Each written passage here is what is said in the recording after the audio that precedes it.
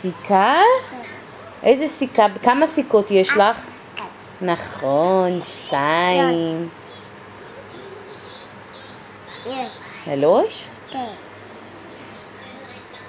בוא נשאיר האוטו שלנו. לא?